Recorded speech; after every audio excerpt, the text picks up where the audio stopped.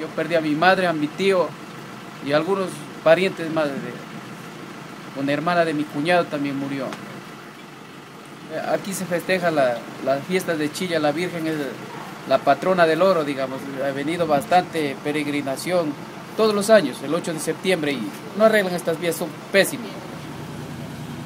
Ellos sí estaban conscientes porque ellos llamaban a la mamá. Primero me llamaron a mí, yo les dije que yo estaba bien y, llamaban a la mamá, pues desesperados. Yo tuve que, que, calmarlos a ellos para que ellos se pongan bien, porque si no, si yo te en el mismo estado, pues era para una trauma más de, de mis hijos.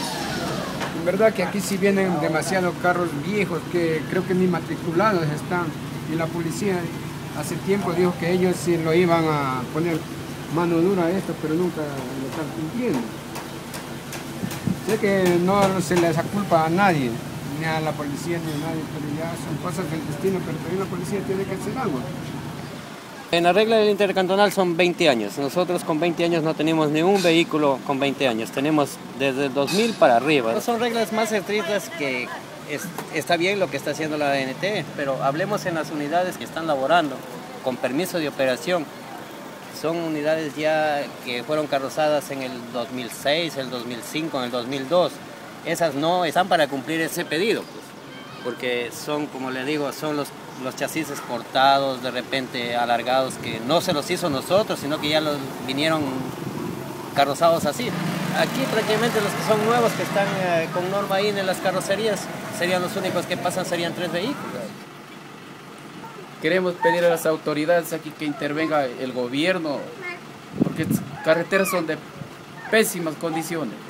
Siempre ha habido accidentes, ya hubo un accidente que fallecieron 10 personas también hace 10 años que pongan, pongan empeño en poner señalizaciones, ampliar la vía. Se firmó un acta, un acuerdo. Realizar la revisión por parte de la Agencia Nacional de Tránsito de todas las unidades de transporte de las empresas operadoras.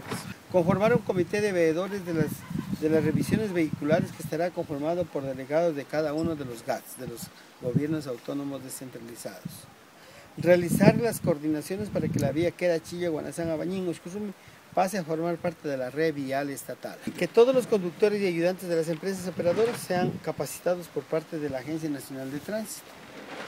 Y que la Agencia Nacional de Tránsito, junto con los operadores de transporte, realicen la revisión de los turnos y frecuencias. Días anteriores ya se ha iniciado la señalización.